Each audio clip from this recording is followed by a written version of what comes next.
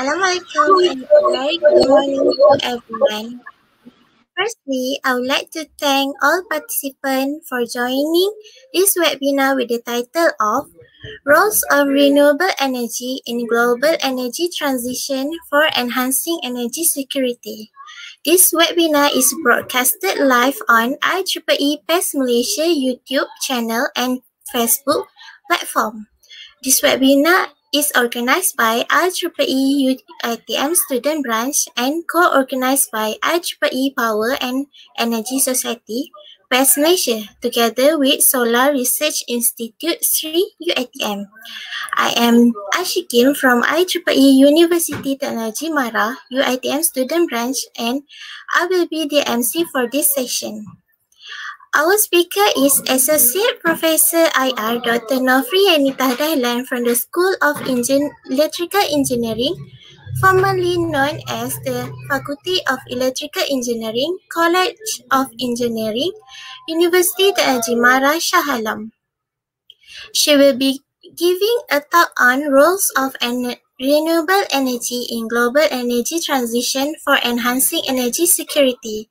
Before I pass the session to our speaker, I would like to inform all participants if you have any question regarding the discussed topic, you can post your question in the YouTube and Facebook chat box. I will post the question to the speaker during the Q&A session. First of all, I would like to invite Associate Professor IR Dr. Ahmad Farid Abidin, community member of the IEEE Power and Energy Society Malaysia to give a brief introduction to IEEE PES to all of you. Dr. Farid, to you. Thank you, uh, Mrs. Uh, Shikin. So please uh, allow me to spend a few minutes to share who we are okay, IEEE Power and Engineering Society, who we are and where we are going. Let's we uh, look through the mission of IEEE. So the mission of IEEE is we foster technological innovations and excellence for benefit of humanity. The vision of IEEE is uh, we will be essential to the global technical community and to technical professionals everywhere and be universally recognized for the contribution of technology and of the technical professional in improving global conditions. And uh, IEEE uh, move with the six core values, which is trust, global community building, integrity in service uh, to humanity, partnership, and growth nurturing. And IEEE, uh, based on the IEEE Strategic Plan 2020 and 20, to 2025, IEEE will drive global innovation through broad collaborations and the sharing of knowledge, enhance public understanding of engineering and technology, and pursue standards for their practical applications, be trusted source of educational services and resources to support lifelong learning, provide opportunities for career and professional developments, and as well inspire a worldwide audience by building communities that advance technical interests, inform public policy, and expand knowledge for the benefit of humanity. IEEE uh, is the well-known as a world's largest professional association uh, focusing on advancing technology for humanity. And in terms of global reach, uh, IEEE have uh, more than 400,000 members, uh, which cover about uh, more than 160 countries. And also we do have the 123 students members and we uh, conduct or organize almost 2,000 annual conferences. In terms of technical uh, platform or technical breadth, uh, IEEE provides more than 4.5 million technical documents. Also, we do provide 200 or more than 200 top-cited protocols and also uh, 1,300 active standards. And uh, we do have 49 technical societies. In terms of uh, social, engagement or social impact, uh, IEEE uh, closely conduct the public policy engagements global humanitarian efforts and also we provide the education as well as certifications and also we uh, emphasize our activity in terms of ethics in, in technology. Okay, uh, as we know that PES is one of the uh, technical society under IEEE. Uh, PES or Power Engineering Society is the second largest technical society under IEEE. In total, actually, IEEE uh, have a 38 uh, technical society, including the PES. So PES uh, have created uh, almost 45% or more than 45% standards under IEEE. So uh, how the membership can help you? Okay, as a member, uh, the member can grow and maintain uh, technical expertise and get connected to other professional uh, under PES as well as under, under IEEE Technical Society and contribute to the future of power and energy. And uh, the member can save money on wearable program as well as materials. So stay technically professional with the PES where we conduct a few uh, activity under PES. Uh, we do have an online webinar tutorials, on-site training workshops, and practice-oriented technical journal plain talk uh, for the basic courses uh, for industrial novice. And PES is deploying significant resources uh, for training and lifelong learning activities for our engineer members. So many resources are eligible under our platforms. Uh, for the IEEE PES Resource Center, uh, the access is over than 1,400 items, uh, which is the most extensive library contents in World Award Third, uh, which is uh, pertaining to the field of power and energy. So all the material, all the document are placed in one platform such as tutorials, videos, uh, technical reports, journal articles, archive webinars, conference slides, and many more.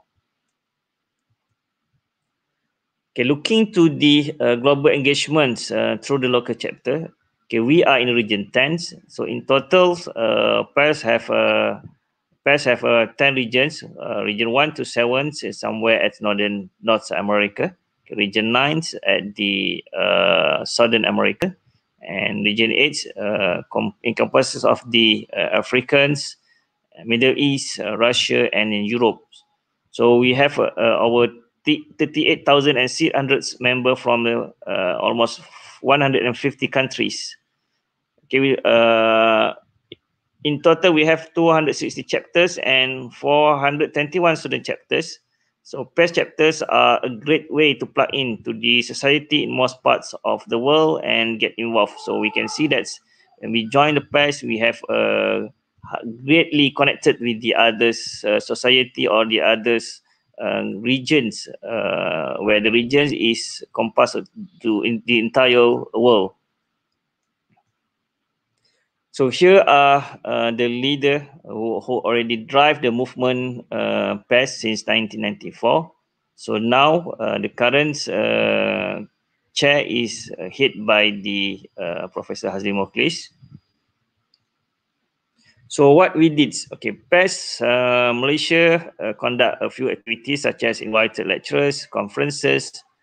we do provide awards for the outstanding engineer and definitely we have uh, close collaborative uh, activity with industries and we do conduct the technical activities uh, final year project awards reaching out to members and as well as the senior member drive. So uh, let's become a member today. So uh, we do have the uh, special or privilege for the PES student membership applicable for the one year where the PES uh, student member are able to uh, enjoy a free subscription to the PES award-winning Power and Energy magazines. And uh, they also can gain uh, free access to the PES Resource Center with hundreds technical reports, tutorials, videos, and presentations. And uh, receive a free membership in your local PES chapter. Receive discounts at dozens of PES sponsored or co-sponsored conferences meeting in uh, related area around the world and also uh, there is a discount for the technical tutorials and uh, for those who uh, who are joined uh, member as student member uh, there is a free series that designed to specifically help uh, the students connect with the employers in the power and energy industries. Okay, the offer is only valid for the individuals, individuals for one year only and to those who have never been a PES member before. Okay, join me as we bring more power to uh, future and let's let's rejoin PES. Okay, here there is a uh, uh, email uh, for the PES, okay, Malaysia at gmail.com. And please uh, browse to our website. Uh, there is uh, many contents and many activity uh, that will be shared uh, for those who are uh, join or can browse the activity, browse the, the uh, websites. Okay, also we do have a Facebooks. Okay, the HTTPS www.facebook.com IEEE PES Malaysia. Okay, here the lineup of the uh, uh, EXCOM for 2021. Okay, thank you. Over to you, Shikin. Thank you, Dr. Farid, for the introduction to IEEE PES. We hope that those who have yet to register as IEEE and IEEE PES member, please join us as you will get all the benefits mentioned by Dr. Farid just now. Now, it is time for the main agenda. Let me introduce our speaker for this webinar. Associate Professor IR Dr. Nofri Yanita Dahlan is currently an Associate Professor at the School of Electrical Engineering, formerly known as the Faculty of Electrical Engineering, College of Engineering, UITM Shah Alam. Recently, she served as the Deputy Director of UITM Solar Research Institute, SERI. She currently involved in developing energy benchmarking formula for government hospital in Malaysia and served as policy consultant for United National Industrial Development Organization, UNIDO, for Malaysia Energy Efficiency and Solar Thermal Application Project, MAFESTA. She has received number of awards for her innovative research in CMVP, EVO, and AEE. And under these capacities, she has trained more than 400 MNV practitioners and involved in NMV audit for more than 30 energy performance contract, EPC, and green technology project. With the introduction just now, I would like to call Associate Professor IR Dr. Nofri Yanita Dahlan to give talk on roles of renewable energy in global energy transition for enhancing energy security. Associate Professor Nofri Yenita, to you.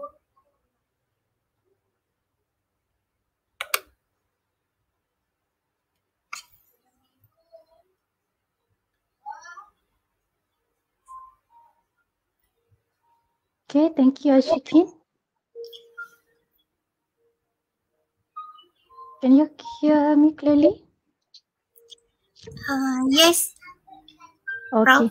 So, okay, thank you, Shikin, for the intro introduction. Uh, and thank you, I3, IEEE Power Energy Society, uh, for inviting me to give a talk uh, this morning. And uh, yeah, my name is Nofri, uh, Nofri Yenita Dahlan. You can call me Dr. Nofri. So today I would like to share a bit on roles of renewable energy in global energy transition for enhancing energy security. Okay, so uh, before uh, we go to the content, let me introduce uh, our Solar Research Institute, uh, SRI.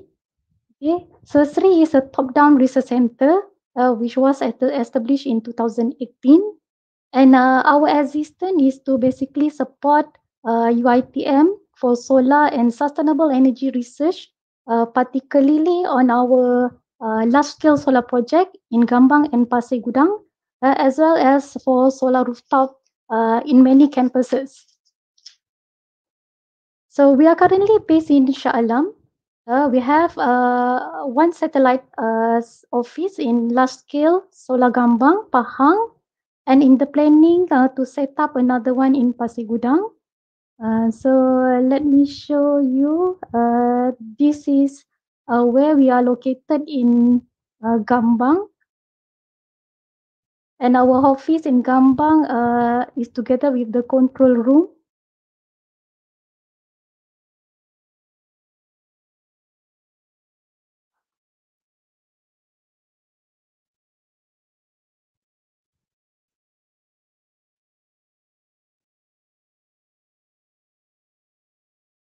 Okay, so and this is the large scale solar farm Gambang. Uh, it's a 50 megawatt uh, capacity of a solar farm with 180,000 panels uh, and supplying 20 22,000 homes. Okay, so let me bring you to the to these 300 acres of uh, solar farm.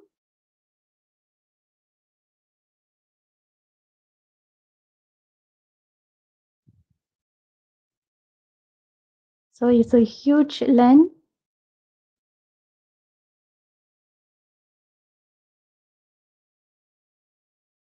So this is where our uh, our center, satellite center is located together with the control room and our office of UITM energy facility, uh, Sendirian Berhad. Okay. So, and uh, this is our scope of research uh, research. So we basically conduct research in uh, four thematic area, uh, solar energy system integration, uh, uh, basically research on renewable energy, a grid camera inverter, uh, anti-reflective coating on solar panel, energy storage system, uh, solar power forecasting, solar PV protection, and also performance monitoring.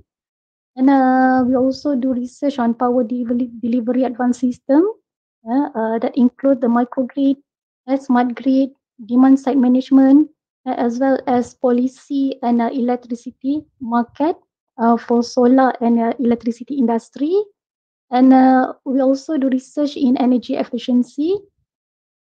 And, and not to leave behind, we also uh, conduct research for the development of infrastructure, water and agro technology uh, that relate to solar PV. Uh, these include uh, agro PV, agro photovoltaic, and also PV tourism. And so you can uh, go to our website, uh, solar.uitm.edu.my for more information about uh, our activity.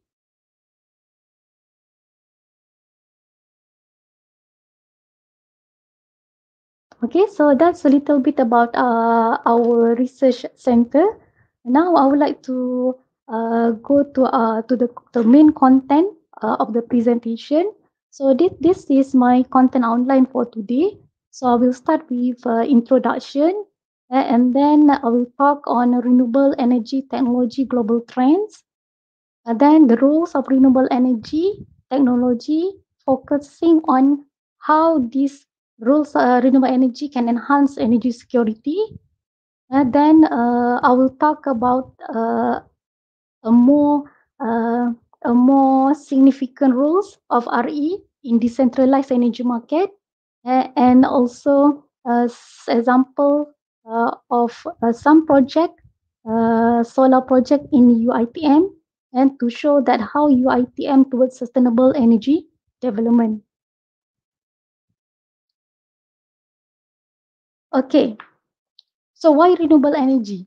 Yeah, why, why, uh, if you look at uh, uh, in the news or in the policy, yeah, so government is, uh, many governments around the world is putting uh, more uh, efforts uh, for deploying uh, renewable energy. Okay, so why renewable energy? So according to environmental US Environmental Protection Agency, majority of the global GHG emission uh, uh, were from electricity and heat, uh, which uh, contribute to 25% of the total global gas emission. Okay, so you can look at this uh, pie chart. So 25% uh, is from electricity and heat production, and followed by agriculture, forestry, and other land use. And China is the main contributor of this GHG emission from fossil fuel yeah, uh, that account for 30% and followed by United States for 15%. So the Intergovernmental Panel on Climate Change, IPCC 2019 report uh, has demonstrated that global warming, warming is mainly due to the increase in greenhouse gas concentration. Subsequently, uh, this global warming lead to the fundamental of developing new energy uh, using various low carbon technology, including renewable energy. So what, what is low carbon technology? Yeah. So low, low carbon technology is considered as a technology that helps to reduce greenhouse gas emission and preventing global warming and be able to adopt to a low carbon economy. So low carbon economy uh, is a country uh, that is based on low energy consumption and has a minimal of CO2 emission into the atmosphere. Okay, so let's uh, look on the global trend of renewable energy uh, technology development. Okay, so since the last five years, the renewable energy has grown three times faster than nuclear and fossil fuel. So in 2019, uh, IEA reported that 27.3% of the global electricity production is from renewable electricity, uh, which is uh, from this 27.3%, 15.9% is from hydropower and 5.9% is from wind. And uh, this RE is expected to lead the worldwide electricity sector by 2025 uh, due to economic stimulus focusing on clean energy by global country. And uh, it is estimated that uh, in year 2025, the power generated uh, from wind and uh, solar PV uh, will surpass the power generated by burning coal. So you can see from the, this graph uh, provided by IEA. Yeah, so in 2025, the power generated by wind and solar PV combined uh, will surpass the generated power from the coal. And it is expected that and it is expected that uh, this RE renewable energy to supply one third of the world electricity in 2025. Okay, uh, renewable also are expected to meet 90 99% of the global electricity electricity demand increase uh, uh, during 2020 to 2025 yeah? So you can see from this uh, graph uh, this is also from uh, IEA yeah? So this is the world uh, the world uh, forecasted generation uh, of uh, renewable energy.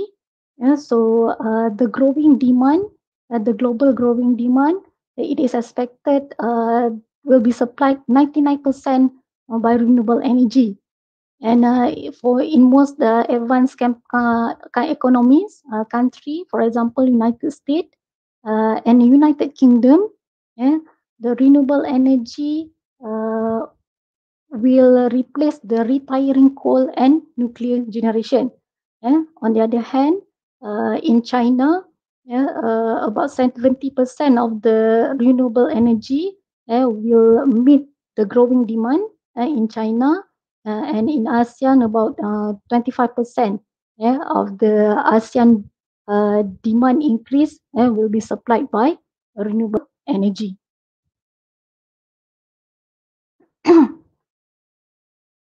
uh, as we know that a mobility restriction has disturbed the supply chain and temporarily temporarily delayed renewable energy construction project, equipment supply and policy implementation. However, despite the COVID-19, eh, government from various countries has still opened up and calling for tenders eh, to install a certain capacity of renewable energy plant. Okay, um, so we can see, for example, uh, this is by IEA uh, report. Uh, in the first half of 2020, there are 13 countries awarded, awarded almost 50 gigawatt of new renewable energy capacity uh, from 2021 to 2024. And uh, from this uh, amount, uh, 42 gigawatt uh, of this renewable energy uh, will come from solar PV and uh, 4 gigawatt uh, is from wind offshore onshore wind capacity. Okay, and uh, Malaysia similar to Malaysia, so Malaysia despite the COVID-19, the government uh, of Malaysia also has announced uh, an open bid uh, that cost uh, 4 billion ringgit Malaysia for 1 gigawatt of solar plant uh, in June in June 2020.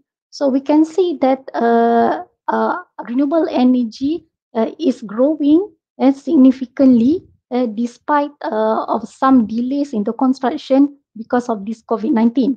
So uh, this is because uh, the growth rate of this renewable energy is stimulated uh, by a continuous support in by the government of various countries in terms of financial and also policy. As for Malaysia, under the Paris Agreement, uh, Malaysia also committed to reduce greenhouse gas emission by 45% by 2030 in relation to our 2005 GDP. Yeah, so for that reason, uh, uh, you can see that uh, government is very active uh, now putting uh, initiative uh, for development of renewable energy and low carbon technology in the country.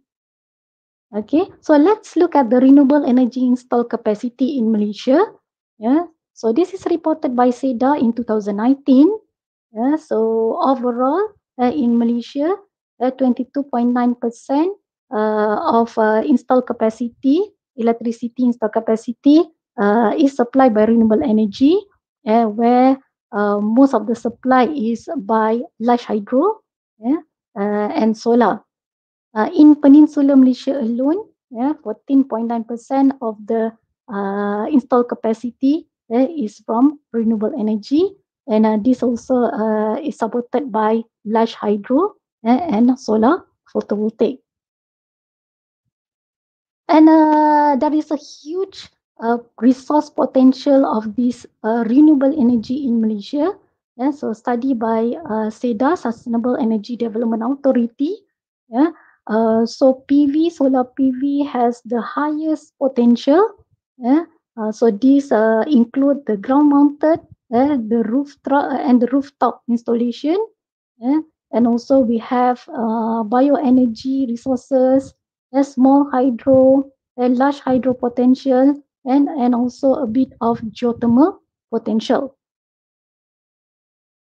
And in 2018, uh, um, Malaysia has announced that uh, it had set a target of 20% of renewable energy uh, in its generation mix by 2025. Okay, so 20% is set uh, because uh, taking into account of the impact of solar PV penetration uh, to the system and grid operation. Okay, so this is a study by uh, Energy Commission and the study found that the system is technically capable uh, to accommodate solar PV penetration up to 30% of the peak demand by 2025. Yeah, so beyond the limit, yeah, uh, then we will see uh, we will see uh, uh, uh, uh, thermal performance uh, affected yeah, and also some load shedding uh, might be activated. Therefore, a proper planning of renewable energy penetration into the grid system is very important.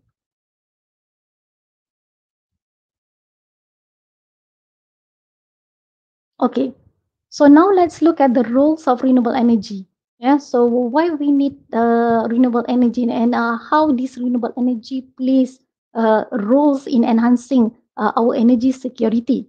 Yeah, so I will divide uh, this uh, into three sections. Yeah, so the first, we will look into how renewable energy paving the world's sustainable electricity generation mix, a more sustainable mix to supply the growing demand.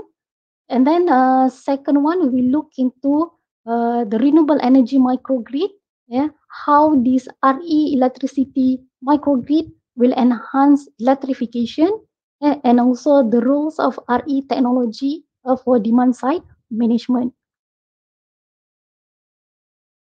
Okay, so uh, as uh, mentioned by IRENA uh, in its global roadmap, uh, so energy transformation uh, in many countries is driven uh, by the two factors. Uh, one is because of the climate change, and the second one is uh, to improve the energy security for a sustainable growth. Okay, and uh, beside uh, because of the ascending growth of the energy demand, uh, and we can see the fluctuation in fossil fuel, price, interruption in energy import and export, uh, depleting of the fossil fuels reserve are also the major concern uh, of most of the country. Yeah? So energy security uh, is dependent on the ability to secure fuel for generating electricity. A classical definition of this energy security yeah, is a stable supply of cheap oil due to embargoes and price manipulation by exporters. Yeah, so this is the, the old a definition of energy security uh, where at that time uh, to to uh, to get a, a stable supply uh, from oil. Uh, however, the modern energy security definition uh, and uh, the the concept is more challenging uh, where uh, the energy security uh, uh, that many countries are facing now is entangled with other energy policy problems and that not only the the the oil uh, but also uh, in providing equitable access electric electric electrification uh, to modern energy and also to mitigate the climate change. Yeah so APEC Asia Pacific Energy Research Center uh, has introduced a contemporary concept of energy security uh, that relate these energy securities with four A's so these four A's is availability, access accessibility, affordability, and acceptability. So uh, it's very challenging uh, to uh, to determine uh, to obtain uh, an optimum uh, generation mix uh, uh, to, to to to for enhancing this energy security. Okay, so uh, for the first role, so let's look how renewable energy paving world sustainable electricity generation mix. Okay, so uh, energy mix or power generation mix diversification uh, is an important for energy security and sustainability transition eh, uh, that a combine of various fuel. Okay, so from its definition, uh, the power generation mix is a combination of various fuel uh, to uh, generate electricity in a geographic region. So in a regulated uh, electricity industry, this power generation mix is a choice of a country. Yeah? But in a decentralized electricity uh, industry, this generation mix is resulted from the investment uh, of generating company. Yeah, so So, for example, European Union uh, uh, in the European country, uh, so uh, the generation mix is uh, threatened by high energy import dependency and scarcity in fossil fuel reserve. So, Germany and Spain uh, are the two countries that uh, actively uh, pursuing uh, uh, this renewable energy uh, for their electricity power development. Yeah, for, so for instance, Germany, they put a more focus on the wind power and bioenergy use, and recently in solar. Uh, meanwhile, Spain, um, Spain, Spain uh, come up with a plan uh, that uh, with, with, with, a, with a plan that uh, deploy its renewable energy into three phases. Yeah, so where phase one to replace the uh, coal, uh, phase two to replace its nuclear, and phase three to replace uh, the natural gas. And so uh, in Spain, so the government Spain has put um, lots of investment in solar, uh, wind, and hydro. On the other hand, um, different in European country, uh, the energy security concern in Southeast Asia uh, is due to the depletion of fossil fuels and shortage to meet the growing demand. Yeah, uh, as we know, because uh, ASEAN country, uh, the demand is uh, significantly uh, growing.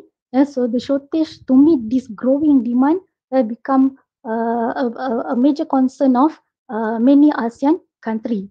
Okay, so for that reason, uh, ASEAN also started uh, uh, its energy transformation uh, by deploying renewable energy. Uh, for example, we can see a rapid development uh, of solar photovoltaic in Vietnam uh, and uh, geothermal power in the Philippines and Indonesia. Okay, so uh, this is uh, the a chart by IEA uh, that shows the world electricity generation mix by fuel from 1971 to 2018. And so you can see that the share of renewable energy and gas increase each year uh, to accommodate the reduction from the oil and nuclear. And uh, this share of RE in global generation mix would rise from 26% in 2018 to 86% in 2050, 50, especially from solar, photovoltaic, and wind. So this is according, according to IRENA renewable energy map. Okay, so now let's look at Malaysia generation mix. And so as I mentioned earlier, we can see uh, a fast growing, uh, a fast growing of uh, renewable energy development also in Malaysia. Yeah? So this is Malaysia generation mix from 1992 to 2018. Yeah, so our generation mix has long been dependent uh, into a single fossil fuel. Uh, for example, in 2004, uh, almost 80% of our uh, generation mix is supplied by gas. Okay, so um, putting uh, or uh, focusing on one single uh, fossil fuels uh, can harm a sustainable uh, generation uh, for electricity. Okay, so you can see that in 2019, uh, this is the status of our capacity mix in 2019. Uh, so 43% uh, of our supply is from natural gas, 31% from coal, and 70% uh, is from large hydro.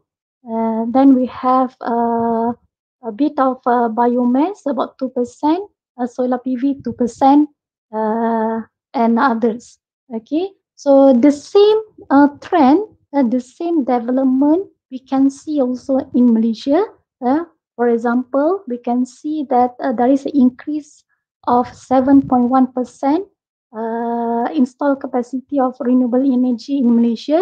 So this is basically uh, uh, this is basically contributed by uh, a project, a large-scale solar project, where a total of 1,000 megawatt LSS project was introduced in 2017, and 800 megawatt from the total capacity uh, was awarded by competitive bidding. Okay, so next, uh, we look on how renewable energy microgrids uh, uh, play a role for enhancing electrification. Uh, so renewable energy microgrid system uh, play critical role in supporting centralized grid system uh, for electrification solution. Yeah, so what is a microgrid? Yeah, so uh, this visual, uh, basically uh, visualize uh, the microgrid concept yeah, so microgrid is a decentralized energy system that supply from various interconnected distributed energy resources uh, such as uh, photovoltaic, uh, uh, fuel cell, uh, CHP, combined heat and power, uh, energy storage system, yeah, over low or medium voltage distribution network, uh, and uh, usually it is also connected to main utility grid uh, for backup, uh, but also can function independently. So this microgrid uh, basically serves for electrifi electric electrification, uh, but uh, it also uh, can provide ancillary services uh, uh, to the grid for the for the reserve uh, operation of the reserve uh, to enhance the power system reliability. Uh, so we can see now various hybrid renewable energy solution uh, with battery storage uh, to accommodate the uh, intermittent of renewable energy resources uh, and uh, also with demand response uh, from flexible load uh, in the building uh, through energy management and control strategy to improve reliability of the microgrid.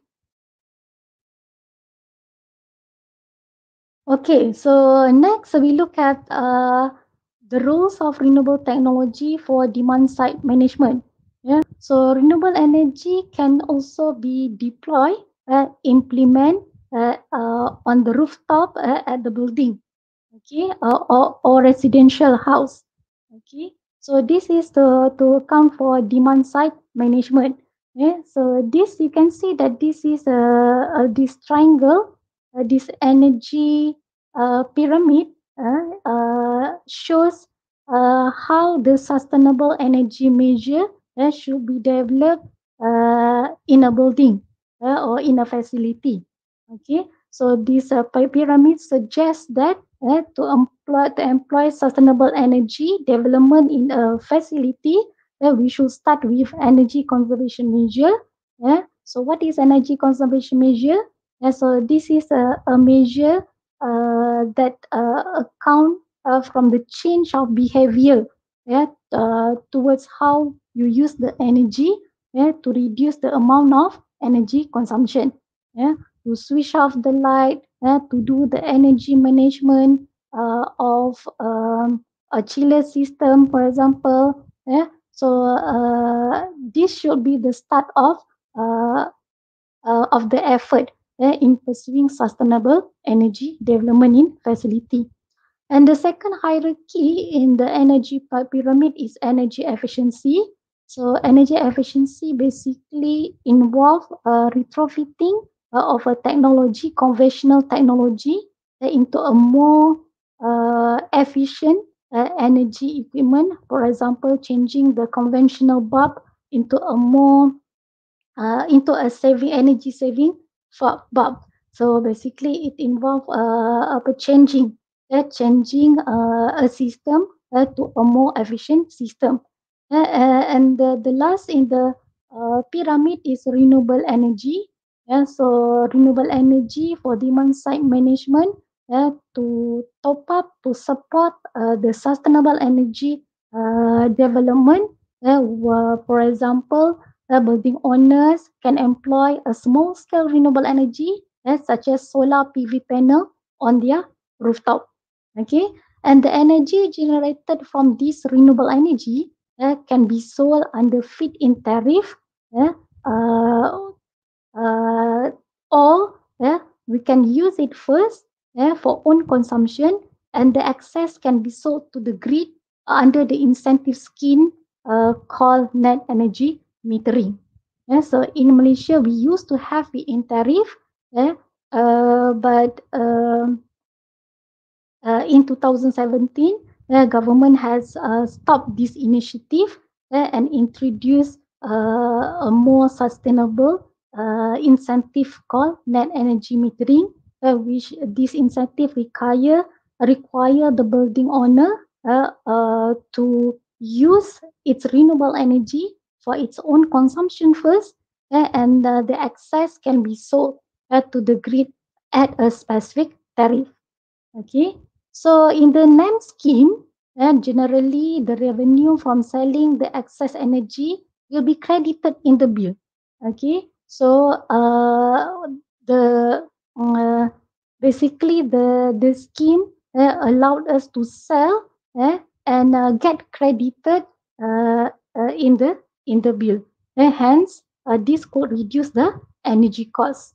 Uh, additionally, for commercial and industrial consumer, uh, it um, it will uh, able to reduce the maximum demand uh, by consuming the solar energy generated during the daytime.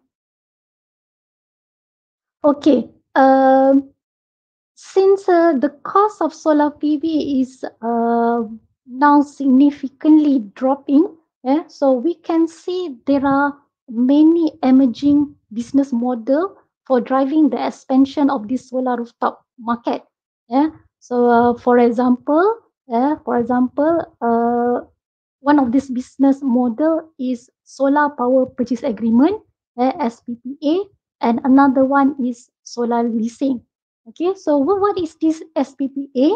Okay, so solar power purchase agreement uh, basically uh, it involves a customer, a customer uh, or building owner uh, uh, who is also the roof owner uh, and solar developer uh, uh, usually uh, come from a private private entity uh, that develop the solar rooftop and utility company. And uh, the contract under the solar power purchase agreement, uh, SPPA, uh, allows uh, developer uh, to install, own, and operate the solar PV system on the consumer's rooftop uh, and sell the solar electricity to the consumer uh, at a specific uh, tariff. Okay, and uh, usually uh, developer uh, typically developer will offer a discount uh, uh, typically around 5 to 10 percent of lower than the grid electricity to the building owner uh, uh, and uh, this contract usually take uh, take uh, a 20 to 25 years uh, period okay. So uh, this uh, will provide a building owner uh, a green uh, energy eh, from uh, from solar PV eh, and also get uh, a lower tariff eh, from this private developer uh, than the grid electricity tariff. Eh, but uh, under this agreement, the building owner uh, will be contracted for uh, a longer, a very quite a long period. Uh, depends on the uh, contract negotiation uh, between the roof owner and also the solar developer. So another model called solar leasing. eh, so solar leasing models allows leasing company eh, or called solar leaser eh, enter a leasing contract with the customer to own, install and operate a rooftop solar on the customer's rooftop, on the building owner's rooftop. So uh, basically, the solar lease lessee or the building owner will pay for the solar system based on a grid rate, uh, a fixed rate uh, comprising the down payment and monthly installment. So the difference between the solar leasing and the SPPA is the customer of SPPA will pay uh, the energy that it use uh, from this renewable energy system. Uh, but in solar leasing, the owner will pay uh, a fixed price yeah, uh, at an agreed rate yeah, uh, comprising the down payment and monthly installment uh, to the developer.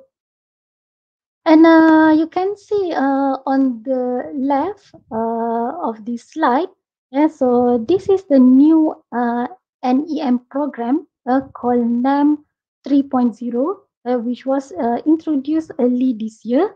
Okay, so the NEM 3.0 is more exciting eh, with uh, different uh, NEM uh, concept were, were introduced. Eh, for example, NEM government. Eh, so NEM gov program, NEM government, NEM government program. So this is uh, for uh, government building. um, and uh, under this NEM government, 100 megawatt is offered uh, and uh, it still use the same concept one-to-one offset uh, but uh, uh, restrict for a 10 years contract. So one-to-one offset means means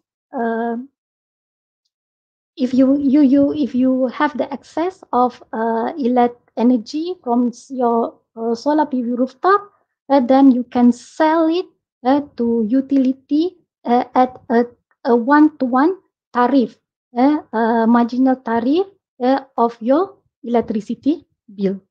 Okay, and another program uh, also introduced under this name uh, is program NEM Rakyat.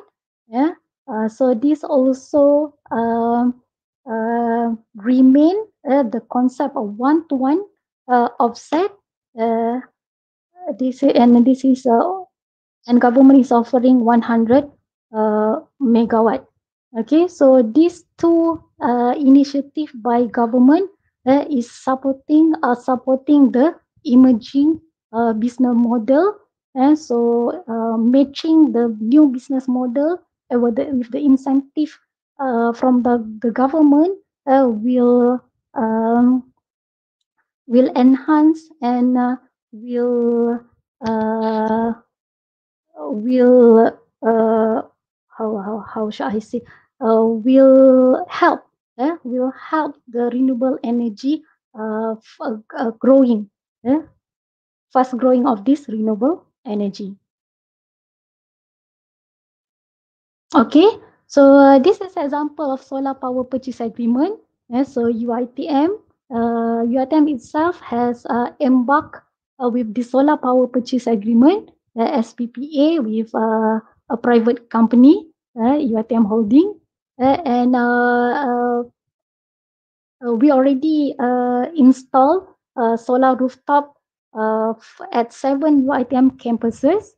Yeah, uh, Dungun, Pematang Pau, Jengke, Kuala Pilah, uh, Alor Gajah, Segamat, Bertam, uh, with a total of uh, 11 uh, megawatt. And uh, cheaper electricity uh, compared to electricity purchased from power utilities uh, that we obtain from this uh, contract, a guaranteed performance of the system and O&M service uh, uh, as supplement to the to the main grid. And it is expected that uh, 66,160 megawatt hour annual energy energy generation, uh, providing 45% uh, UITM energy consumption and reducing 75k tons of CO2 annually from this project.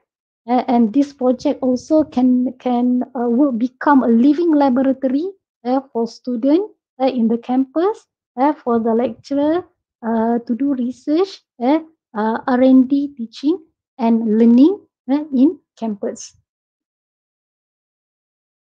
And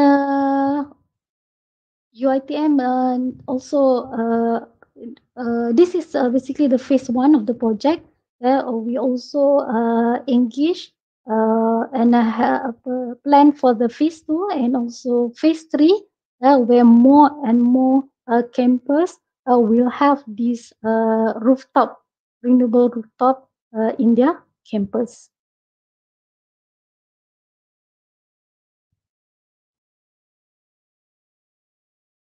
Okay, so now uh, I would like to uh, I would like to share uh, with you uh, the future roles of uh, renewable technology in decentralized energy market.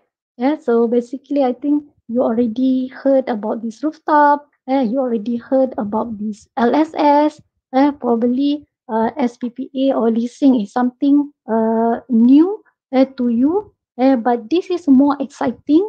Yeah, energy trading uh, for renewable energy uh, uh, uh, is now uh, uh, globally uh, taken uh, in many uh, countries around the world. Okay, so there are two there are two business model that I would like to share here. Uh, to share here uh, relating to this uh, renewable energy trading. Yeah, so one is peer-to-peer energy trading and the second one is virtual power plant.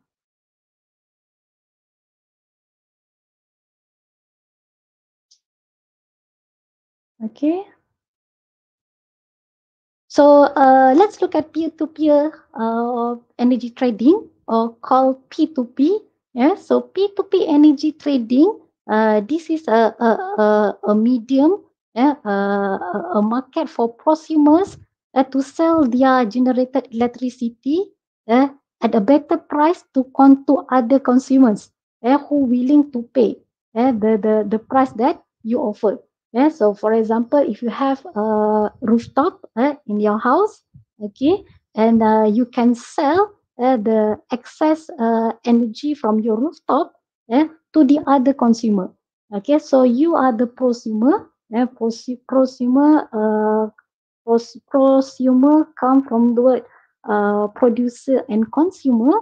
Yes, so prosumer, you have the excess of this uh, energy from the rooftop, and then you can sell it uh, to the uh, to the other consumer eh, who willing to pay at the price that you offer without involvement of any intermediate or third party.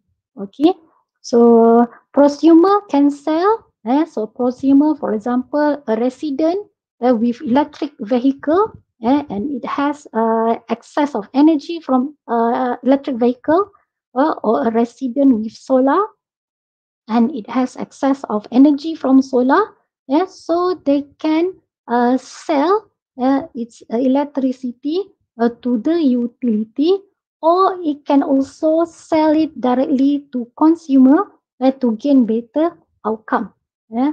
uh, compare if there is a low back low buyback rate uh, uh, and high tariff from utility grid and, and this peer-to-peer trading usually implemented within a local distribution system eh, uh, involving region, uh, microgrid, or in premises. Yeah, so with energy trading activity are occurred uh, among utility provider, prosumer, and consumer. Yeah, so you can see something that uh, very exciting. Yeah, so uh, uh, is happening. Yeah, is happening. Uh, on the transaction uh, of this renewable energy and selling and buying uh, or trading of this uh, renewable energy within the neighborhood. Okay, so uh, in P2P, uh, the procedure, the prosumer, it helps prosumer to uh, manage their distributed energy resources uh, that includes interconnection of uh, electric vehicle, uh, solar photovoltaic, or if you have a farmer, for example, in uh, Europe, they have a wind turbine. Eh? Uh, so this help the, the prosumer to manage their uh, distributed energy resources. If they have the excess capacity, so they can sell it and get some revenue.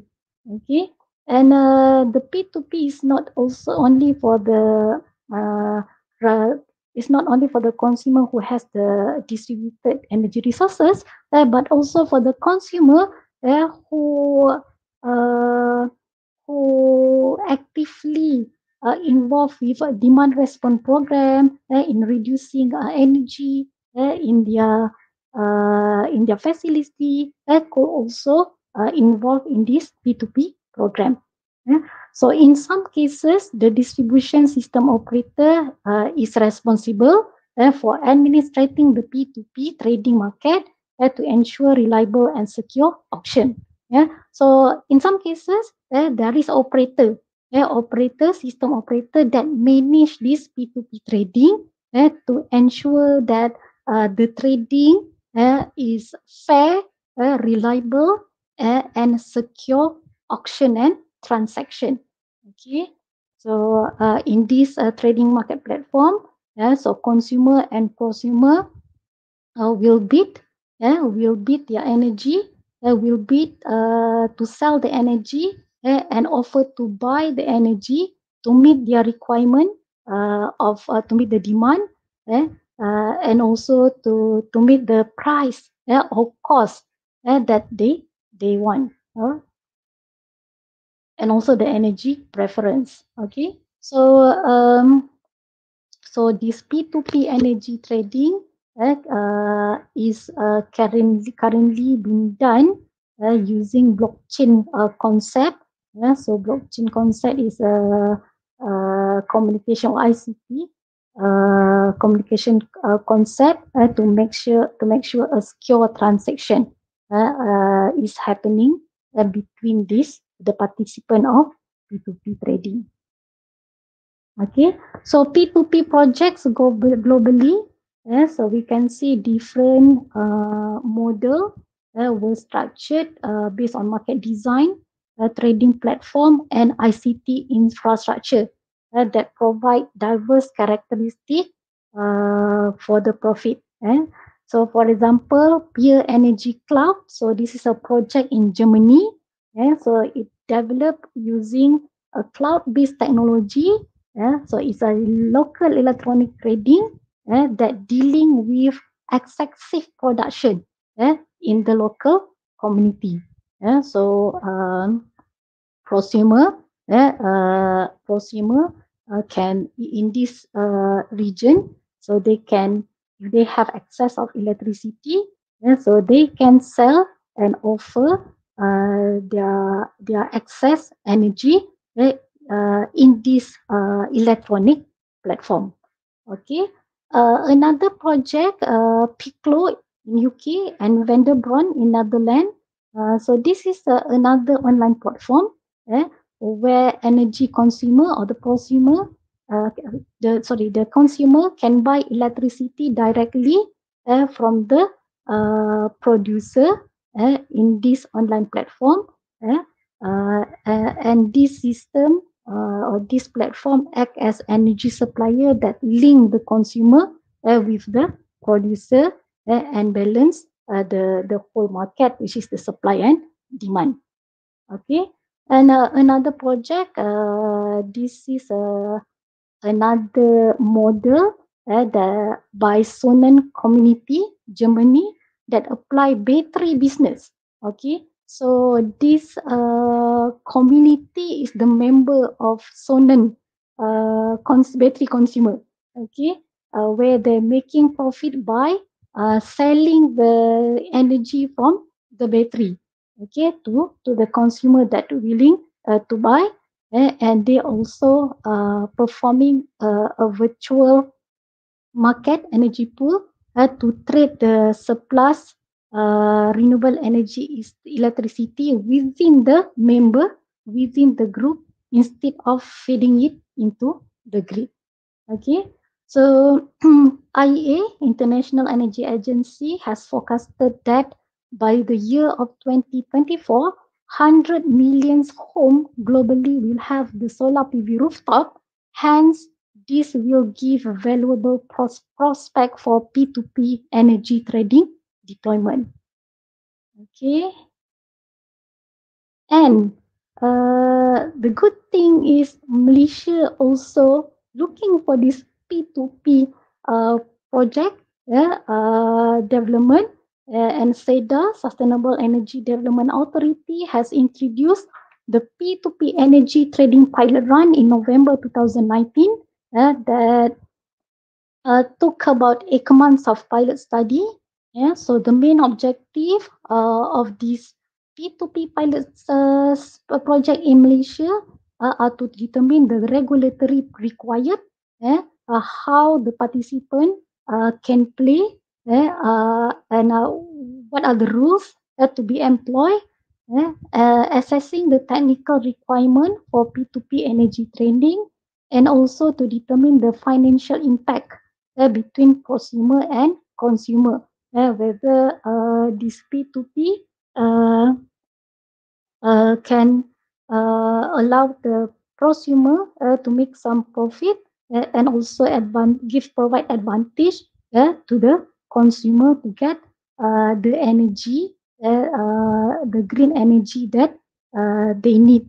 Okay, and also to identify the motivation for participation among the stakeholders, addressing the barriers and its mitigation action with respect to the P2P energy trading. And so this is the aim of the study uh, by SEDA, and the model comprised of three main players, eh, which is which are the consumer. Uh, so the consumer uh, who are the enti- entity that purchase uh, electricity, uh, uh, the excess electricity eh, from the pros- prosumer whenever available. Eh. Uh, the second player is the prosumer. Eh, so the prosumer is the NEM prosumer, the net energy metering prosumer, eh, where they can sell the excess eh, and also utility uh, company uh, TMB. So in this model, TMB acts a grid operator eh, or retailer that coordinate the trading eh, in terms of energy and money exchange between the prosumer and consumer via the virtual blockchain platform. Okay, uh, smart meter was installed at prosumer and consumer side uh, to record the the import and export of the energy. So the project was successfully ended its trial on June 2020 yeah, with a better understanding uh, acquired uh, uh, by SEDA, yeah, especially on the P2P energy trading concept, yeah, the benefits and the challenge. Yeah, however, uh, there are still uh, more study yeah, need to be done. Uh, for example, uh, the impact of P2P to the grid yeah, because the P2P, the transa- the virtual transaction, yeah, uh, it's also required uh, to understand uh, to, to also study the impact of this uh, P2P trading uh, into the grid. Uh, economic feasibility yeah, of uh, prosumer, consumer, uh, and also uh, the whole participants eh, uh, in this uh, P2P uh, platform eh, and also design appropriate business model. Eh, so uh, are essential to be conducted uh, prior to its live deployment in Malaysia. Okay, uh, so that is about peer-to-peer trading. Uh, another uh, exciting uh, scheme uh, another exciting scheme uh, in this decentralized electricity market is called virtual power plant. Okay, so VPP, virtual power plant, appeared as a new cloud-based model. Okay, so satu cloud-based model that aggregates uh, a bundle of distributed, connected, distributed energy resources uh, in one uh, market uh, to improve the grid flexibility, securing and reducing environmental risk. VPP is different uh, from the microgrid in the sense that VPP can be assembled uh, using a set uh, connected to any part of the grid. Uh, it, it doesn't uh, require only uh, a set or resources uh, that connected close to each other, uh, such as a microgrid, uh, but uh, it can uh, virtually uh, connect any asset to any part of the grid. Okay, uh, whereas microgrid are restricted to a part uh, to a particular location. Uh, for example, in island or within the neighborhood area. Yeah, but VPP, yeah, you can um, you can connect uh, the resources yeah, uh, from any part of the grid. Yeah, so that, that is why it called virtual power plant. Okay, so with virtual power plant, a better integration of RE is envisaged yeah, through supply side flexibility. So in the VPP, uh, there is a an operator of VPP uh, that will uh, optimize uh, the power generation source. Uh, uh, for example, solar PV, or if you have wind or combined heat uh, and power CHP, uh, and also energy storage system and demand side uh, demand side flexibility uh, from the load, a flexible load uh, uh, from this demand response. Okay. So system operator will basically uh, will basically use uh, a cent- uh, an energy management management system uh, to control uh, data uh, or uh, to control data and also to to optimize uh, the energy within this VPP system. Okay. So countries like Australia, Australia, United States, Netherlands, Germany, Denmark, and UK are the most actively involved in a virtual power plant with an established regulatory framework acknowledging this virtual power plant trading. Okay, so these are VPP aggregator. So it will aggregate all these resources including the energy storage and also demand response, uh, demand response. Okay, and optimize all these energy uh, sources so that minimum energy uh, uh, or that provide benefit uh, to all these uh, resources uh, as well as building and uh, consumer uh, in this system. Uh, for example, in 2018, uh, South Australia has initiated developing the world largest VPP by installing 5 kilowatt solar PV rooftop at 50,000 households. Uh, and each home equipped with energy storage system, smart meters, and a computer system to control activity between houses uh, and the grid uh, in terms of the storage and also the renewable use. Okay, in Malaysia, uh, the NEM 3.0 uh, uh, NOVA, eh, so NOVA uh, stands for Net Offset Virtual Aggregation uh, program was introduced for commercial and industrial early this year. Uh, so NOVA uh, NOVA provide a virtual NEM platform uh, for uh, participant or consumer uh, to participate in Malaysia. Uh, a very uh, interesting and, and exciting program. Uh, so SEDA just uh, recently um, come out with the guideline uh, uh, for consumer to participate under this NOVA program. Okay, so the aim of this uh, NOVA uh, is to reduce business costs uh, through the use of solar PV system by the commercial and industry. Okay, so how it works? Okay, how it works? Uh, so consumer uh, with uh, a solar PV system uh, on the rooftop, and so they will consume the electricity generated uh, with a solar PV system first, and then if there is uh, excess energy, they can sell it sell the uh, excess back to the grid at a market rate or system marginal price uh, SMP price that's set uh, by uh, SEDA by the regulator okay and then the electricity sold uh, will be converted to credits yeah it will be credited into the bill yeah so that is similar to the the previous NAM concept that I mentioned earlier. Eh? But what is different in this NOVA is the offset. Eh? So offset excess electricity eh, can be performed. Eh?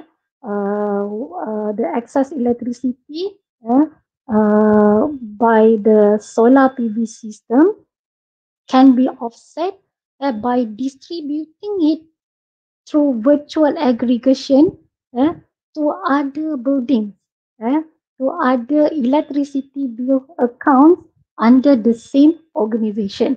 Okay, so as for now, uh, government is uh, is uh, restricted to uh, three different electricity accounts. Uh, for example, uh, UITM, uh, UITM have uh, many campuses.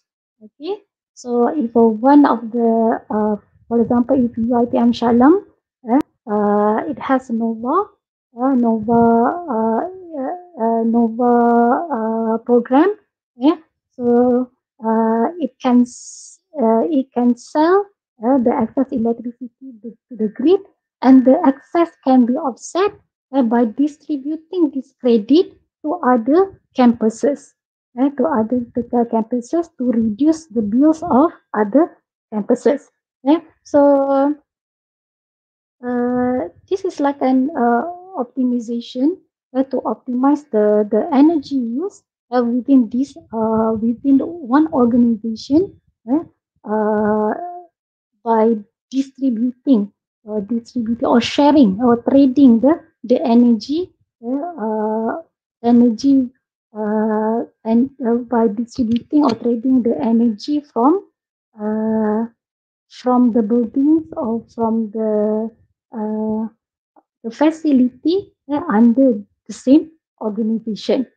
Okay, so as for now, uh, it is allowed. So this NOVA program uh, is allowed um, to be registered for three different electricity bill accounts uh, under the same name. Okay, so uh, now let's look at uh, how UITM towards sustainable energy development. Okay, uh, as I uh, mentioned uh, earlier, uh, now most of us know, yeah, so UITM Solar Park 1, yeah, so we have uh, a large-scale solar farm, 50 megawatt plant in Gambang, and this was commissioned in April 2019. And this is owned and operated by UITM Energy Facilities Sdn Bhd uh, via its special purpose vehicle, SPV, UITM Solar Power Sdn Bhd. And uh, this um, this uh, system has 180,000 panels and supplying 22,000 homes, expected to reduce CO2 emission by 56k per year. And uh, UITM uh, is the world's first university uh, to finance this project via the issuance of ASEAN Green, Green Sukuk. Okay, and also the public university with the largest solar power generation facility. Okay.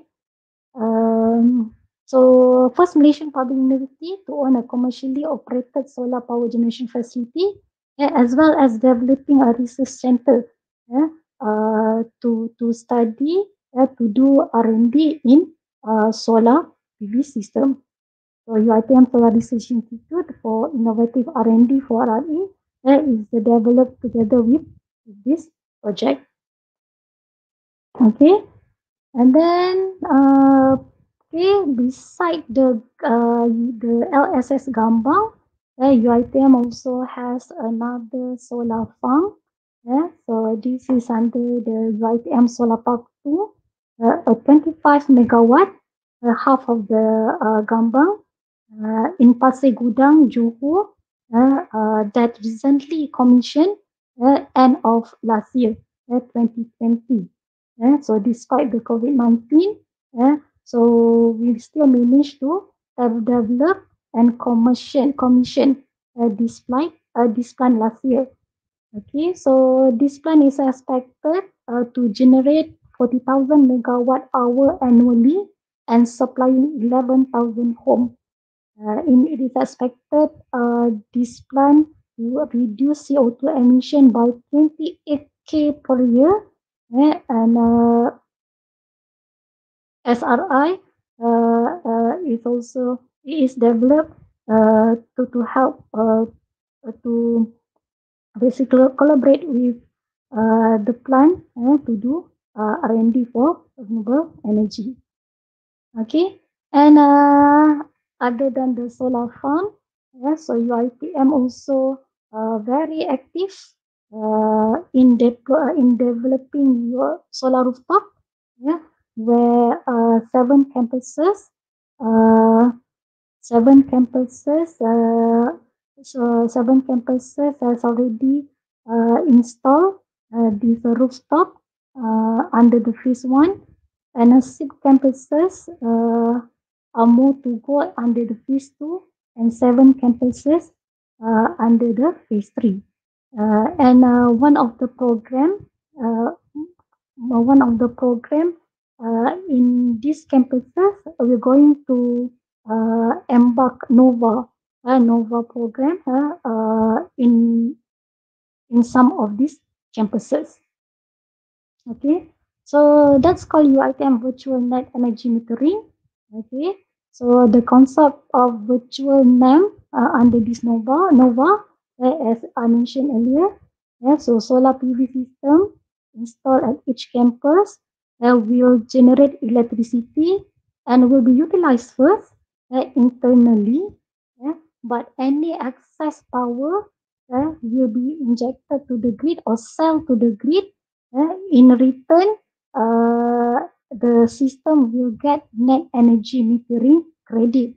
Uh, and under this virtual net energy metering, or under this NOVA, NEM NOVA, the excess credit uh, tadi eh, can be used by other campuses eh, uh, that are unable to generate a sufficient solar eh, or, or try to reduce the electricity electricity bill.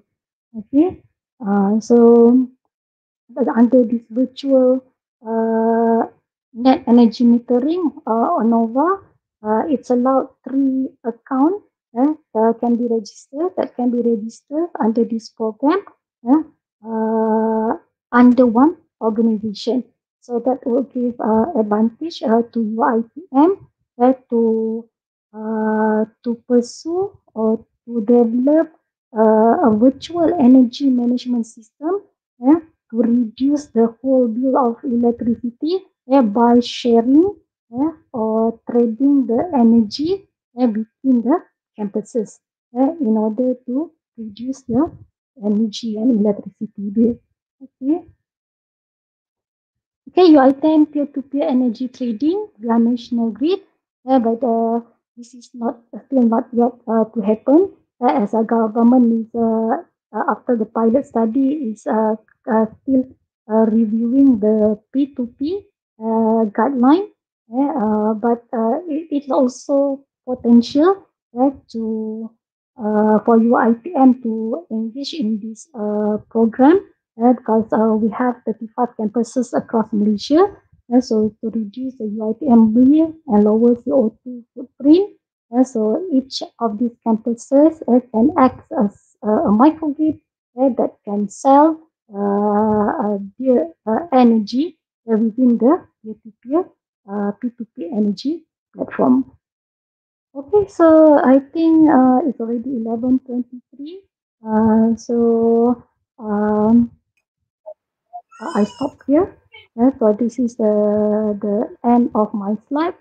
I spy, uh, I pass back to Ashikin. Okay, thank you Associate Professor Nofri Yenita for that interesting talk. On behalf of the organizing committee, I would like to thank Associate Professor Nofri Yenita for the very informative talk. I believe all of us understand the main points from the talk just now. Now, I will proceed with the Q&A session. I will read the question from FND UPM. Um, Prof, any updates on the 1000 megawatt LSS launch in 2017?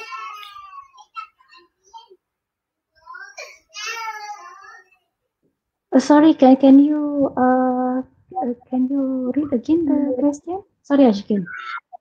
Okay, uh, I repeat the question.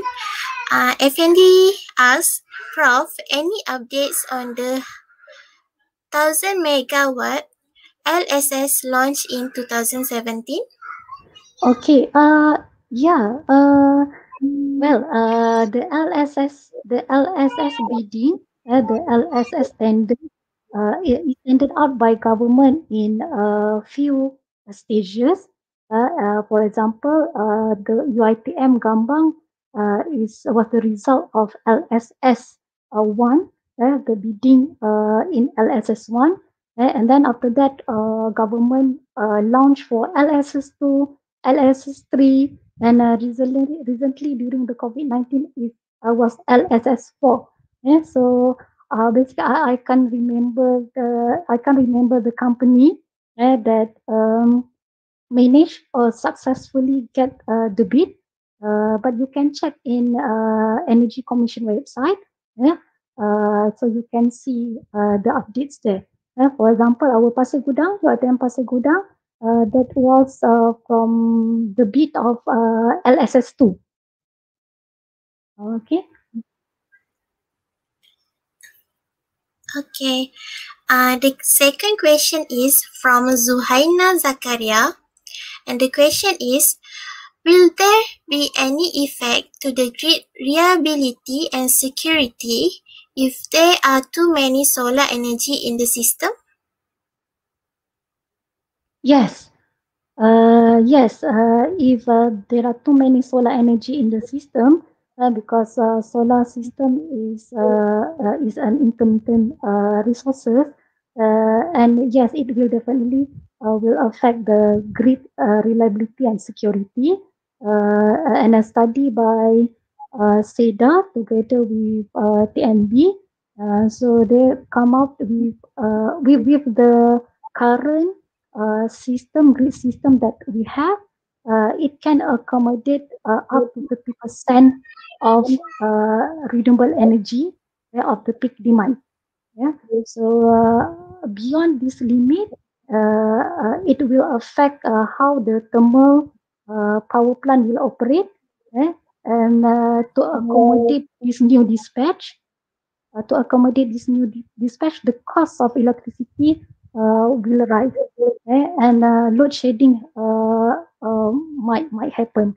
So uh, in, in such case, eh, to to uh, to allow more uh, renewable energy in the system. Um, one is the reinforcement of the grid, but of course it, it will uh, take uh, a huge cost uh, to do reinforcement. Uh, other uh, to like um, to uh, install uh, energy storage system yeah, uh, to basically uh, accommodate uh, this uh, intermittency of the renewable energy, uh, solar energy in the system.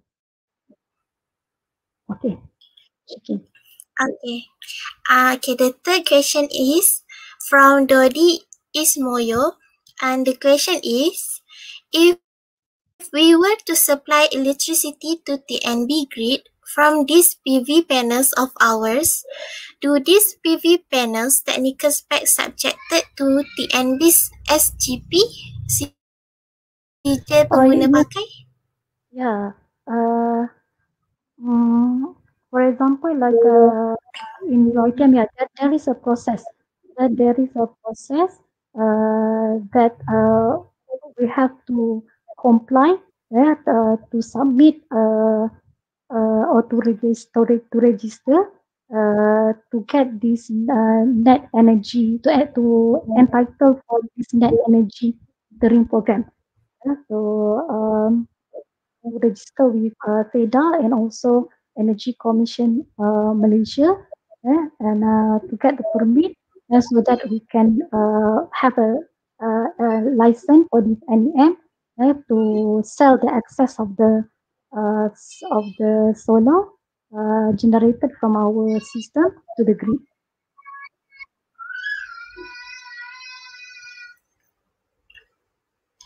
Okay, the fourth question is from the witness. Salam Dr. Nofi. Do renewable energy able to improve energy security in the long run, especially for Malaysia context? Uh, well, uh, uh, uh, let, let me give my opinions uh, in this subject. Okay, so as as uh, as uh, as the current uh, the current renew uh, the current energy supply system that we have uh, that uh, we are strongly dependent on the fossil fuels. Uh, so from my opinion, yes, renewable energy can improve the energy security, but I don't think so in this near future it will replace uh, it will replace the the most of the fossil fuels uh, because um, not like in UK the the wind uh, wind has a, a, a large capacity uh, but in Malaysia uh, we are depending on solar photovoltaic uh, solar PV uh, which required a huge land to develop large scale solar power uh, solar power plant uh, uh, compared to if you have coal power plant, yeah, uh, for example, 50 megawatt large scale uh, LSS required uh, 300 acre of land, yeah, uh, but that can accommodate a coal power plant of uh, like a 500 megawatt uh, plant. Yeah, so in terms of cap- it, it, it's a very hard, it's hard to compare to totally replace this fossil fuel. but yes, in the long run, because we can see that um, the cost of this renewable energy is significantly dropping and um, uh, significantly uh, dropping and I believe that the decentralized electricity uh, market uh, will help uh, this uh, renewable energy system eh, to uh, to develop eh, uh, in the in the context of uh, the, the electricity uh, industry that uh, we have in Malaysia. But yes, uh, we can see that in uh, Europe or in advanced uh, country, uh, the, they are now um, they are now moving uh, aggressively towards this renewable energy uh, with their wind power plant uh, and also with the solar PV. And uh, Malaysia also has positive uh, positive view of this in Malaysia. Um, uh, because of, as you can see that because, because the grid parity, uh, grid parity, parity is the cost of uh, generating solar, uh, generating energy from renewable and from RE now uh, nearly meet, huh? and even I, I would say uh, some of the country already meet this grid parity where the cost of supplying from renewable energy uh, is uh, cheaper than the cost of producing from fossil fuels, especially in especially in the uh, advanced country. So that's why you can see that uh, more power plant, uh, renewable electricity uh, uh, is developed uh, in in in advanced country. And another thing that helps that helps them is the market. Yeah, they, they have a decentralized electricity market that helps this uh, renewable energy uh, to play fair uh, with the other fossil fuels. And uh, they have that advantage of the uh, government, after their government has put uh, strong policy support uh, to this renewable energy. Uh, and uh, because of the cost, uh, one thing is because uh, because of the, the cost is dropping uh, significantly uh, lately.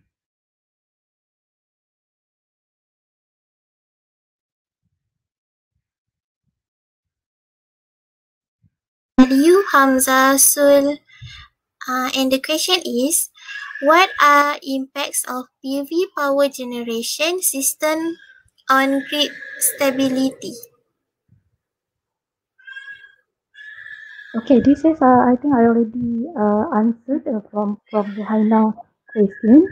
Yeah, uh, because of the intermittency of the solar power uh, generation, uh, uh, so the, the the supply and demand, uh, it, it will affect the supply and demand uh, where a more stable, a more uh, stable system is required for this.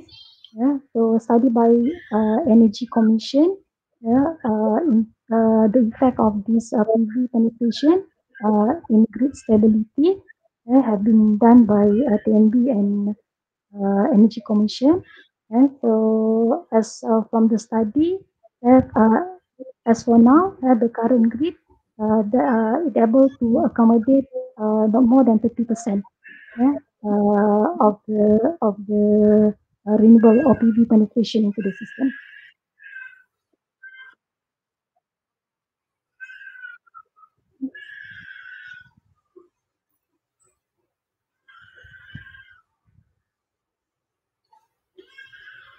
Alright, I think that is the last question. There are a lot of questions from the audience, which means this topic is really interesting. I would like to thank Associate Prof. Nofri Yenita for answering the question from the participant. Before the programs end, I would like to inform that we have provided a link to answer a quiz in the chat box. The quiz is based on the Associate Professor Dr. Nofri's talk just now. The quiz will be closed 30 minutes from now. For the quiz, we will announce the winner in IEEE UITM student branch website and e-certificate will be given to all participants. With that, we have come to the end of the program. I hope all of you could support all of our upcoming events. Please follow the IEEE PES Malaysia and IEEE UITM student branch, Facebook, Instagram, and YouTube channel. With that, thank you so much to everyone. Stay safe and Assalamualaikum. Okay, thank you everyone. Okay. Thank you, Doctor. Thank you.